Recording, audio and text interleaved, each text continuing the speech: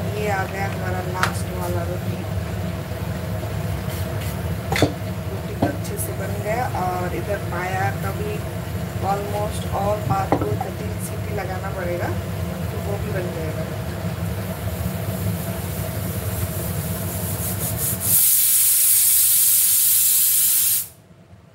मैंने ज़्यादा पानी इसमें था क्योंकि अभी जो विसल आ रहा है ना, ज़्यादा पानी डालने से ये ऊपर से पूरा एक फ्लैट करके पूरा निकल जाता है।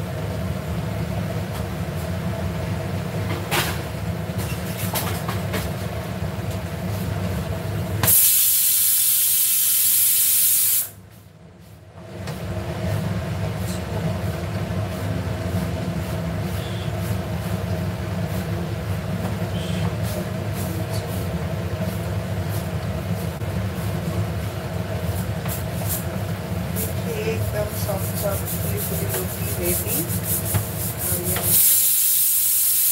एकदम तैयार हो गया है और गर्मा गर्म पाया सूप के साथ खाओगे तो बहुत ही बढ़िया लगेगा। तो मैं जब भी रोटी खाती हूँ तो रोटी को ऐसे मल मल के कपड़े में ऐसे लपेट रोटी ज़्यादा देर सॉफ्ट रहती है रोटी और